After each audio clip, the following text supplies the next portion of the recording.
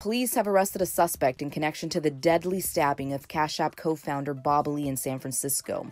According to authorities, Nima Momeni from Emeryville was arrested Thursday morning and booked into the San Francisco County Jail. We can confirm that Mr. Lee and Mr. Momeni knew each other.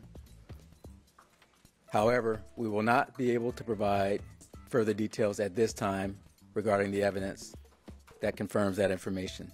Momeni's LinkedIn profile shows he's the owner of Expand IT, an information technology consulting company out of Emeryville. Lee was stabbed in the middle of the night, April 4th, on Main Street near Folsom. He died later at the hospital.